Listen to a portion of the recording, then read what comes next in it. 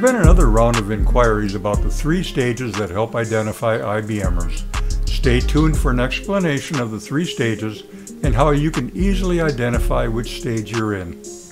If you're new to this channel, please subscribe and press the notification bell to be notified whenever a new IB myositis episode has been published. If you like this type of information presented in this 107th episode, please press the thumbs up and like button.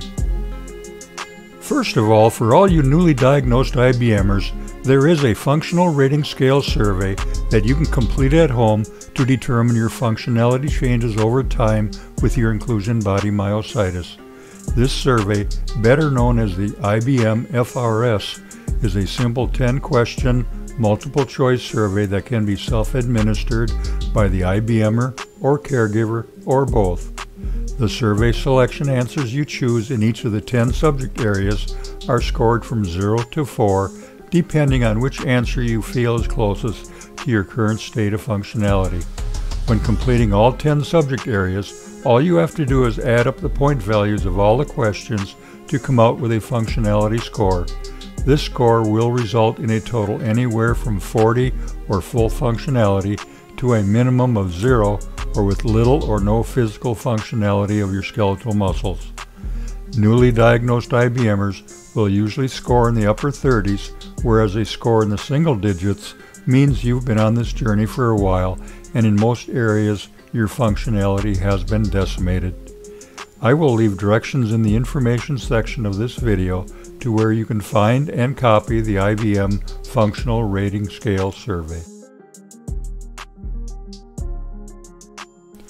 The Functional Rating Scale was developed by doctors Barohn and Amato in about 2008 using a similar survey designed years earlier to serve patients with ALS. Dr. Barohn was the previous director at the University of Kansas Medical Center's Neurology Department and is now at the University of Missouri in Columbia and has a legacy of leadership in the myositis medical community. Dr. Amato is also a well established IBM expert and well known in the myositis community. I think Kevin Dooley's Cure IBM website defines the Barohn Amato FRS advantages the best way. Ease of use.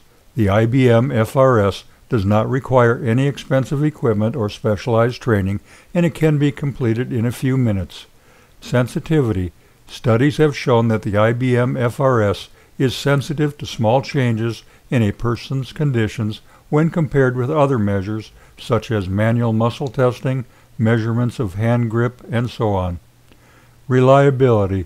Since the IBM FRS was first described in 2008, several studies have validated its reliability and accuracy.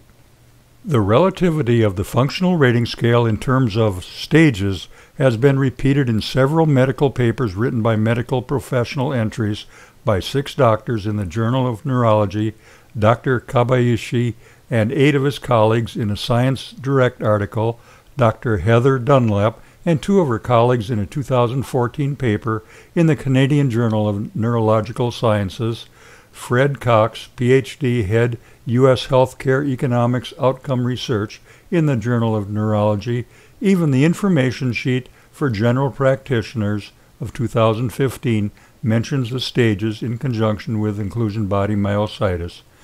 An article by Dr. Stephen A. Greenberg entitled Inclusion Body Myositis Clinical Features and Pathogenesis makes mention several times of the various stages of IBM. The term stages is used by medical professionals to identify progression or deterioration of most types of conditions or diseases. A simple infection can be categorized in one of five different stages.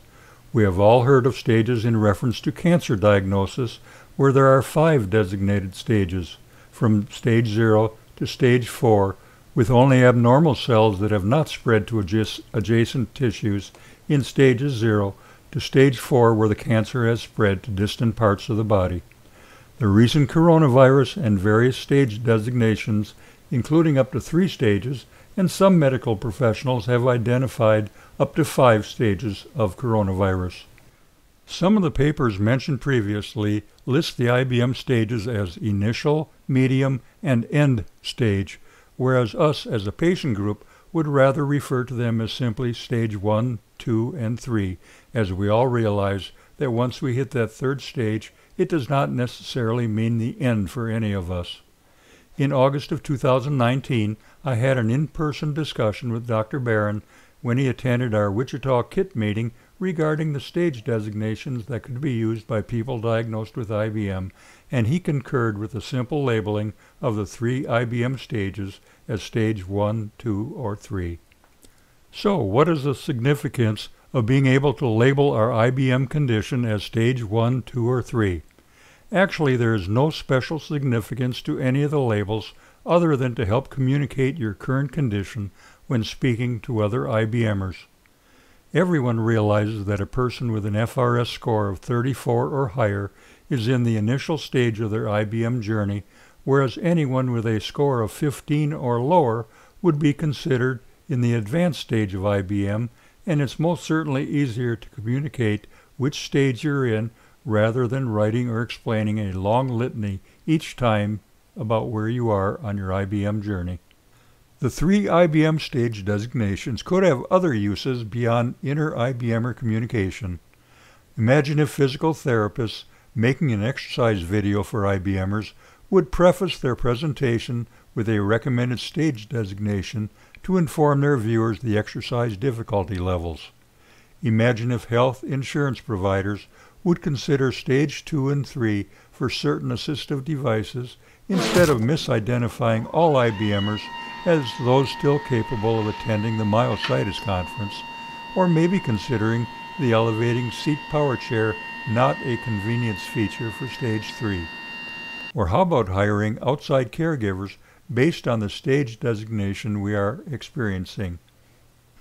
But for now, if you new IBMers hear or read a fellow IBMers say they're in stage 1, stage 2, or stage 3, you can better approximate at what point of their IBM journey he or she is at as a result of their functional rating scale survey results.